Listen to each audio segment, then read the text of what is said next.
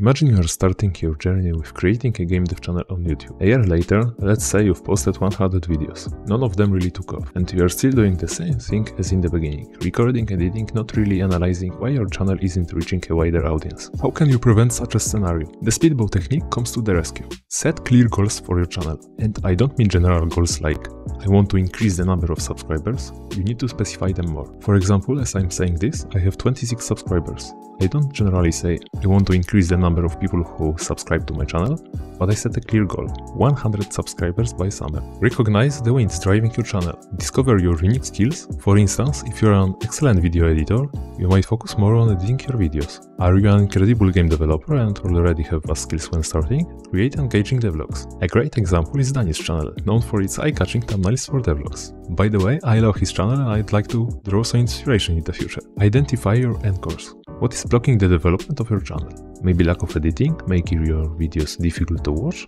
poor thumbnails, irregular posting? For my channel, one of my anchors is irregular posting.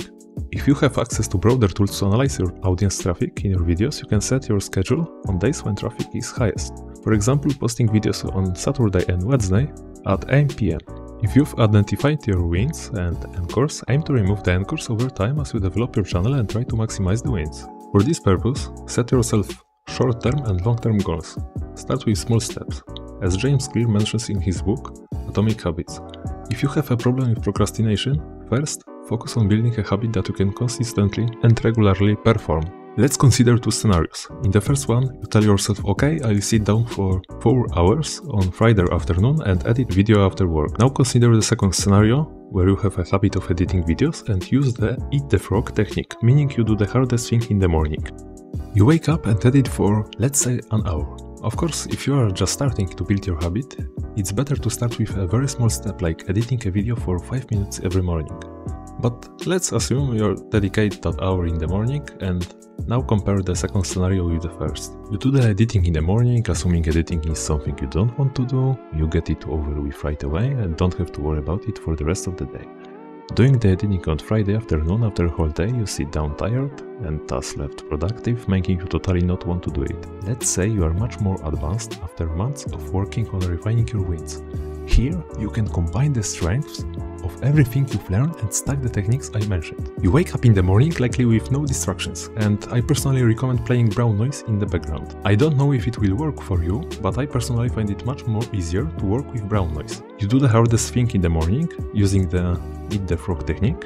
You develop increasingly powerful habits of regular work on your channel and add to this the deep work technique. By the way, I recommend Cal Newport's book Deep Work. The cherry on top will be habit stacking. Let's say you wake up at 5 am. Edit the video until 6 am. From 6 am to 8 am you work on your indie game. From 8 am to 9 am you go for a walk and spend this time on reflections. You can't imagine how many great ideas can come to mind during a walk. The hours I mention are just examples. Everyone has a different life and needs to adjust it for themselves.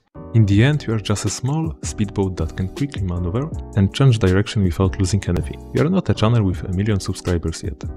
Then you can consider yourself a huge ship that must take a specific direction, and its captain knows what goal it aims for, maintaining the same developed style of journey. With that summary, I would like to end this video and wish you all the best in your adventure with indie game development and running game dev related YouTube channels. Thank you very much for watching and see ya!